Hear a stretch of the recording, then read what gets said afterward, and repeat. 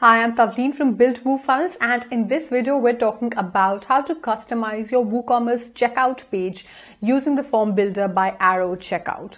Well now, Aero gives you access to the form builder right here and uh, let's let's just spend some time understanding the interface. So here you can add more steps. So you can create a multi-step checkout form. Or if you want, you can uh, just create a single step checkout form and ask for all the information on this step itself. Uh, then you've got the basic fields here. Now, first name, last name, phone, billing address, shipping address, these are all basic fields. Uh, you've got products field here, which is about the information about the products that they are purchasing. So after the product fields, you've got the advanced fields here, which is order notes, shipping method, order summary.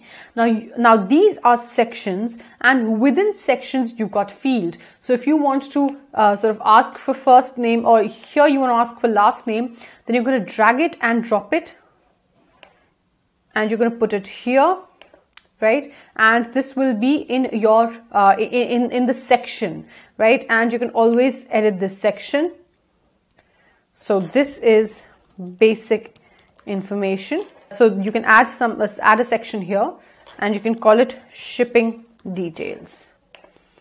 So this becomes your section and then simply drag and drop it here. And then you can collect the shipping address and the shipping method here now, as you're aware that uh, in native uh, WooCommerce checkout pages, you do not have this kind of flexibility. You cannot add or remove fields and you cannot even reorder them. But here you can do it by using a simple drag and drop. Now, the reason why you would want to do is uh, do this is because um, let's say there are some form fields which are redundant to the products you are selling. So let's assume that you're selling a digital or a physical product or digital or an information product and you do not want to collect their shipping uh, uh, shipping details, billing details. So that's absolutely fine. You can get rid of those fields. In addition, just like you noticed here, you can uh, sort of dedicate uh, the first step and the first part in the first step to just collecting their basic information like first name, uh, last name and email, right? So you can choose the order in which you want to collect their information. Uh, now, so that, that's section and within section you've got these fields. Um, in case you want to add a custom field, you can do that as well. So you simply have to add new field here and uh, well, let's say that you're selling an, information product, you're selling a course or an ebook, and you also want to know uh, more about the people that are buying your product. So, how would you best describe yourself? So, this becomes the field here, right?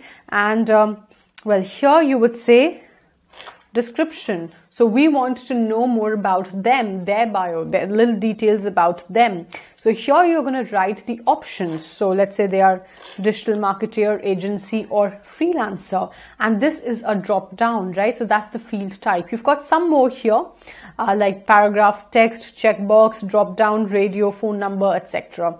So here this will become a drop down, right? So you can add the field here so there you go. You've got how would you best describe yourself. This field has appeared here. Now you can actually add a new section. Information. Or maybe this could actually become a part of this right here. So after they submit their email, uh, after they uh, type in their email, uh, they also have to answer this question, how they best describe themselves, right? So this is what it is. You can add uh, add custom fields. This is again a very interesting functionality that the form builder in Aero Checkout offers. Um, then you can add new step here. So uh, let's say here you're collecting basic information, shipping and order summary. In step two, you can actually collect the billing details.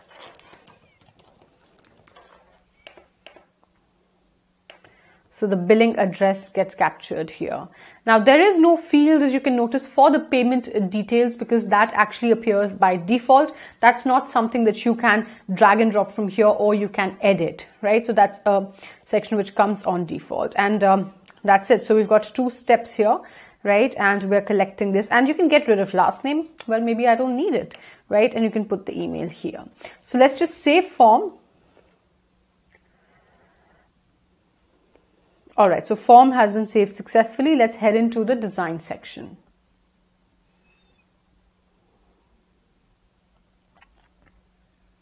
So here we've got some templates. Well, I'm going to, uh, uh, you know, look, spend some more time studying the templates in uh, my another video, which is dedicated to checkout templates. In this video, well, I'm just going to tell you that we've got pre-built checkout page templates. You can select any one of them. So let me just select this at the moment. All right, so that's it. Here you go. So this is basic information and you've got the first name, email, how would you best describe yourself? This drop down appears right here.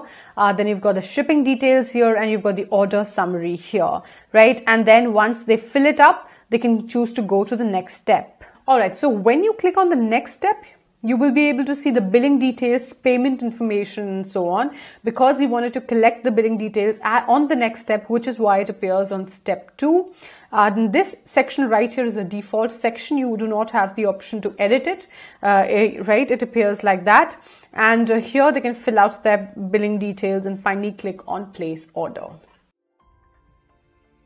Another very interesting thing that I wanted to share with you is this checkbox right here. So if you're actually creating a very optimized uh, checkout page, well, then it makes sense uh, to have this checkbox. Now it says use a different billing address. When they click on it, they can fill out their billing details, right? And when this is unchecked, it is assumed that the shipping details and the billing details are the same, so they are not asked for their billing address again. Uh, in order to um, bring this checkbox here, here's what you have to do.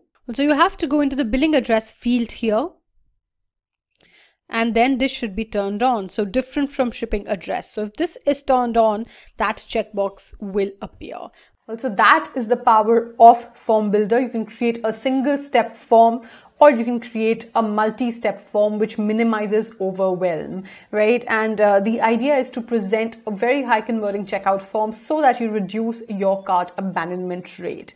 And as you're already aware that uh, the native WooCommerce checkout form has a lot of limitations, whereas here you can uh, customize your WooCommerce checkout uh, form without writing a single line of code and which is what makes it a hell of a deal.